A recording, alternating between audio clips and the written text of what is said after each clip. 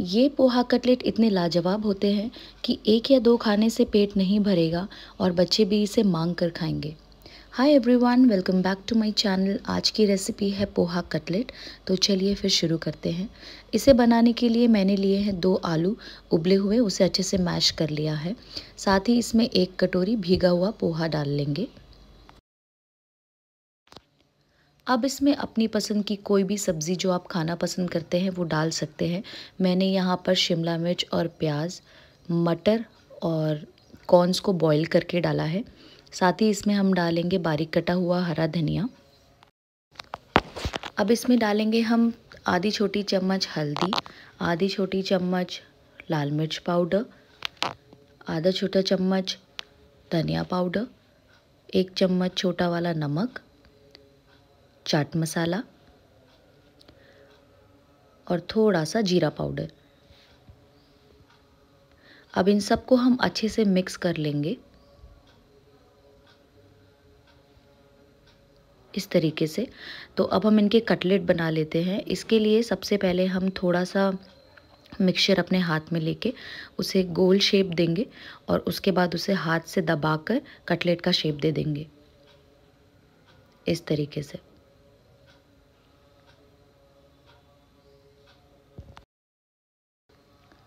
अब कटलेट हमारे बिल्कुल तैयार हैं तो इन्हें हम साइड में रख लेते हैं। अब एक बोल लेंगे और उसमें हम आटा लेंगे और आटे के साथ हम इसमें थोड़ा सा नमक डाल लेंगे।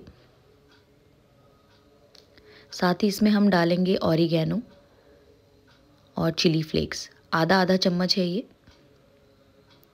और अब थोड़ा सा पानी डालकर इन्हें मिक्स कर लेंगे। अब धीरे धीरे थोड़ा थोड़ा पानी डालकर हम इस तरीके से इसकी एक स्लरी तैयार कर लेंगे। अब जो कटलेट हमने बनाए हैं, उसे इस स्लरी में डालेंगे और इसके बाद हम इसे डालेंगे ब्रेड क्रम्स में। मैंने दो ब्रेड को मिक्सर में चला लिया था और अब इसे हम सभी जगह से कोट कर लेंगे इस तरीके से।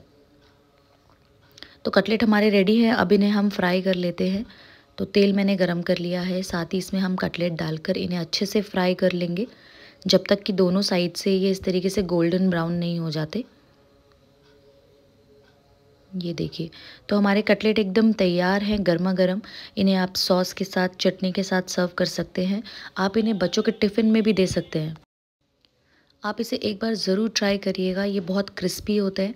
तो कैसी लगी ये वीडियो, मुझे कमेंट सेक्शन में ज़रूर बताइएगा। अच्छी लगी है तो वीडियो को लाइक करें, कमेंट करें और मेरे चैनल को सब्सक्राइब करना ना भूलें। बाय